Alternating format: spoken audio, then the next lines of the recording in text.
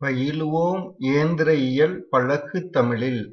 அண்ணா பல்கலைப் பாடங்கள் பழகு தமிழில்! வழங்குவது தமிழ்மெக் தாளமுத்து.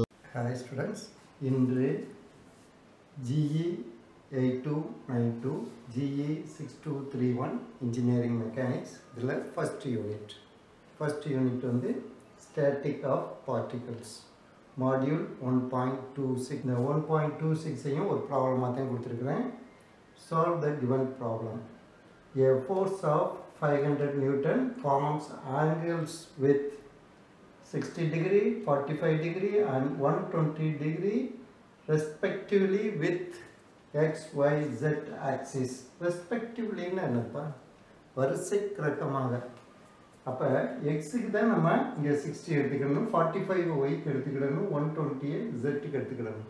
அதுதான் ரெஸ்பெக்டிவ்லி இந்த வார்த்தையை நீ நல்லா நினைவு வச்சுருக்கணும் find the components FX FY FZ and express in vector form இந்த ப்ராப்ளம் வந்து டூ மார்க் ப்ராப்ளம் தான்.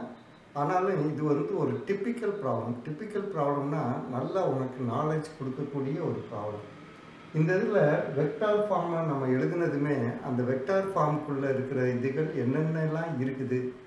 அப்போ ஒரு ஃபோர்ஸ் வெக்டார் ஃபார்மில் சொல்லும்போது எவ்வளவு விஷயங்கள் அதுக்குள்ளே இருக்குங்கிறத நீ ஈஸியாக தெரிஞ்சுக்கிடுவ. இதுவரையிலும் தியரியாக படிச்சுக்கிட்டே இருக்கிறது ஒரு விதமாக இருக்கும். இதே மாதிரி நீ ப்ராப்ளமாக போட்டு சால்வ் பண்ணும்போது இன்னும் தெரியும். அந்த வெக்டார் ஃபார்முக்குள்ளேயே இந்த ஆங்கிள்ஸும் இருக்குது. இந்த எஃப்எக்ஸ் எஃப்ஒய் எஸ் எஃப்செட்டும் உள்ளே இருக்குது. அது தவிர இந்த மேக்னிடியூடு அதுக்குள்ளே இருக்குது இப்போ கிவன் டேட்டாவில் ஃபோர்ஸ் உடைய மேக்னிடியூட் ஃபைவ் ஹண்ட்ரட் நியூட்டன் எக்ஸில் இந்த எக்ஸ் ஆக்சிஸில் அது மேக் பண்ணுறது வந்து எவ்வளவு? சிக்ஸ்டி டிகிரி ஒய் ஆக்சிஸில் மேக் பண்ணுறது ஃபார்ட்டி ஃபைவ் டிகிரி இந்த ஜெட் ஆக்சிஸில் மேக் பண்ணுறது ஒன் டுவெண்ட்டி டிகிரி இந்த இதில் நம்ம ஃபைண்ட் அவுட் பண்ண வேண்டியது எஃப்எக்ஸ் எஃப்ஒய் எஸ் எஃப்செட் இதெல்லாம் என்ன பாருங்கள் இதெல்லாம் காம்பனண்ட்ஸ் இந்த இதுக்கான காம்பனண்ட் இந்த இதில் என்ன பண்ணோம்? நம்ம இதே மாதிரி போட்டு எஃப்எக்ஸ்னு இது இங்கே போட்டோம். வெக்டார் ஃபார்முலையும் இப்போ இருக்கிற டேட்டாவை வச்சு நம்ம வெக்டார் ஃபார்முலையும் எழுதணும். இப்போ ஃபார்முலே டு யூஸ் ஒரு ஃபோர்ஸ் வெக்டார் ஃபார்முலா எழுதணும்னா F magnitude into cos theta X cos theta X I plus cos theta Y J plus cos theta Z K அப்போ வெக்டார் ஃபார்முலா எழுதணும்னா இந்த ஃபார்முலா எஃப்எக்ஸுங்கிறது நம்ம ஏற்கனவே நம்ம ரெசல்யூஷனுங்கிறதுல படிச்சிருக்கிறோம். இதை எழுதியாச்சுன்னா இதை அப்படியே அடிஷன் பண்ண வேண்டியதான் FX equal to F into cos theta X five hundred கொடுத்துட்டாங்க. காஸ் இதுவும் கொடுத்துட்டாங்க.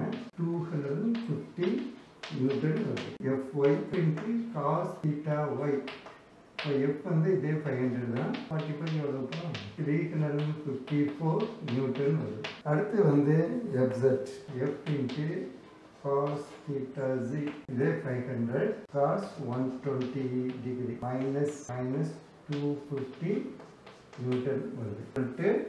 நம்ம f into cos theta x அங்கே இதுதான் f into cos theta x தான் fx. அப்போ இந்த இதை டேரெக்டாக போட்டுடலாமா அப்போ டூ ஃபிஃப்டி என்ன போடணும்? ஒரு ஐ மட்டும் போட்டு plus three fifty four J போட்டுறோம். இங்கே வந்து minus minus of two fifty K ஒரு வெக்டர் ஃபார்மில் எழுதணும்னா அதுக்குள்ளேயே எல்லா இதுவும் இருக்குது இந்த ஆங்கிளும் இதுக்குள்ளேயே போயிடுது. அது வந்து காசாக உள்ளே போயிடுது. இந்த மேக்னிடியூடும் இதுக்குள்ளேயே போயிடுது. அது வந்து எஃப்எக்ஸு எஃப்ஒய்வா அப்படியே ஆயிடுது. அதோட நம்ம ஐ மட்டும் ஜேன்னு கேன்னு சேர்த்து நம்ம ஒரு வெக்டார் ஃபார்மாக அது கிரியேட் பண்ணி என்னுடைய சேனல் வந்து ஏயு மேக்கிங் தமிழ் இதுக்கு நீங்கள் சப்ஸ்கிரைப் பண்ணுங்கள் சப்ஸ்கிரைப் பண்ணி நீங்கள் படிக்க ஆரம்பிச்சிங்கன்னா உங்களுக்கு வரிசையாக படிச்சுக்கிட்டே வர்றதுக்கு சான்சஸ் இருக்கும் எதையும் மிஸ் பண்ண மாட்டீங்க. அப்போ நீங்கள் புக்களுடைய ஃப்ரண்ட் பேஜ்லேருந்து கடைசி பேஜ் வரையிலும் கம்ப்ளீட்டாக படிச்சிருக்கீங்கன்னு அர்த்தம். எதையும் மிஸ் பண்ணாமல் டெலீட் பண்ணாமல் படிச்சிருக்கீங்க. அப்போ எந்த கொஷின் கேட்டாலுமே நல்லா ஆன்சர் பண்ணலாம். நீங்கள் தமிழ்லேயே படிச்சிருக்கிறதுனால நிச்சயமாக நீங்கள் டவுட் இல்லாமல் படிச்சிருப்பீங்க. எழுதுறதுக்கு மட்டும் நீங்கள் இங்கிலீஷில் எழுதுறதுக்கு பேசுகிறதுக்கெலாம் ஃபஸ்ட் இயர்லேருந்து ப்ராக்டிஸ் பண்ணிக்கிட்டே வந்தீங்கன்னா ஒரு நல்ல இன்ஜினியராகவே வெளியே போகலாம். நீங்கள் பயப்படவே வேண்டியதில்லை. எக்ஸாமை பற்றி பயப்படவே வேண்டியதில்லை. நல்ல மார்க் ஸ்கோர் பண்ணியே பாஸ் பண்ணலாம். Okay see students thank you